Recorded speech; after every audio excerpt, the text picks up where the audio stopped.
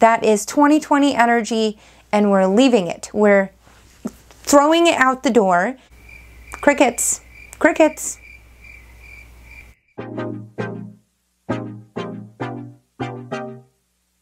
Hey guys, welcome back to my channel. My name is Marissa and thank you so much for being here. Thanks for clicking on this video.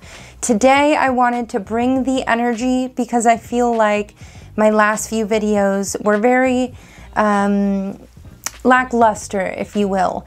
And I wanted to sit down, make up just fully like in my human body and talk to you guys and tell you six lessons that I have learned in 2020 that are going to help me level up the last second part of 2021 and future years to come. And I want all of you guys to know these lessons too because they're important and I utilize them in my daily life now. I have my handy dandy lovely notebook that I've scribbled a ton of notes on and first point is going to be what we eat and when we eat determines how we live our lives.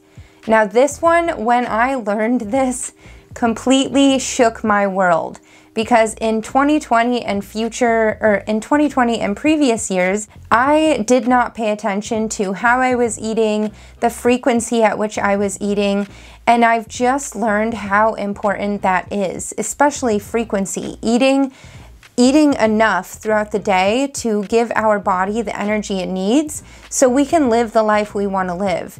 Now, I like to think of it um, the way that Jessica Ash Wellness thinks of it, and she uses this car um, simile where she talks about how if you want to get into a car and go a long distance trip, you're not going to like try and do that with no gas in the tank. You have to make sure you're supplying yourself with the energy, the fuel you need to get yourself to go where you need to go. And so if we want to live a life where we feel happy and we feel majestic and creative, we need to eat. We need to make sure that we're eating enough and that we're eating well.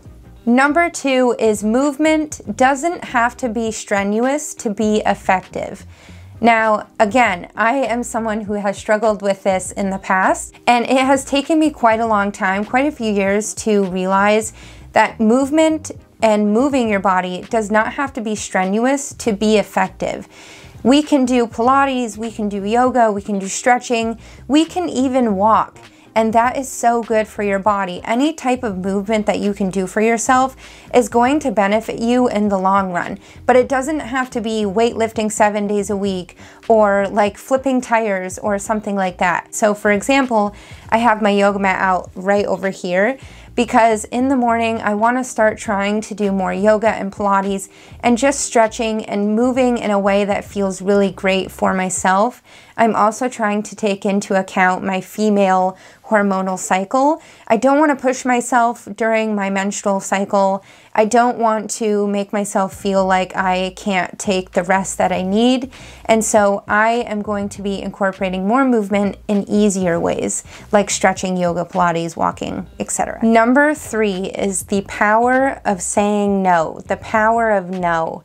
This is something I am still very much learning, and I hope in future years I know how to use this power a lot better. I tend to have a problem where I push myself to the limits. And then when I am stressed and I haven't eaten well and I haven't taken care of myself, I tend to snap. I tend to get very frustrated with myself, but then everyone around me because I have not taken time to rest. And again, that is not the way we're going to level up in the rest of 2021 or future years to come. We're not going to do that anymore. That is 2020 energy and we're leaving it. We're throwing it out the door and we're not ever doing that again. So it is very important that we need to learn to say no. Number four, a budget will change the way you spend your money.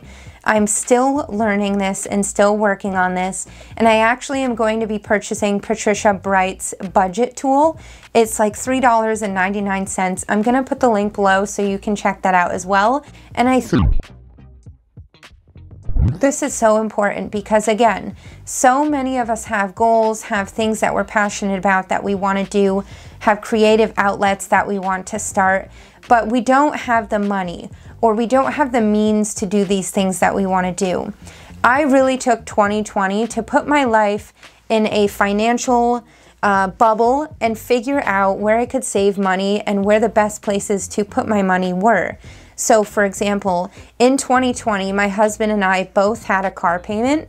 We have since paid both of those cars off, and I'm really trying to put investments in ourselves. So, yes, there are still things that we spend our money on, but we budget and we understand what is important. Number five, goals are meant to be realistic and attainable.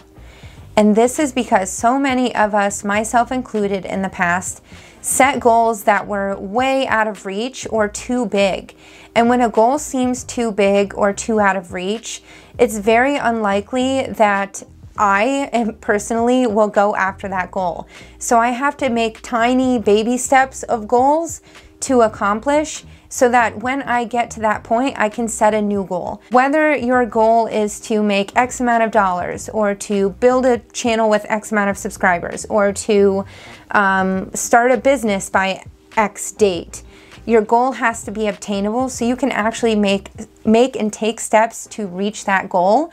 And don't forget the power of a notebook, guys, the power of a notebook, the power of writing down what you want to achieve, especially in a place that you're going to see it every day. And last but not least, number six, I am the only person who will hold myself accountable. And this one is super important, and I wanted to leave you guys with this one because I wanted to give you a little inspirational pep talk. I started this YouTube channel almost 10 years ago, but I started this channel posting covers. And if I would have continued with this channel, I, I mean, I can't even imagine the places it would be today.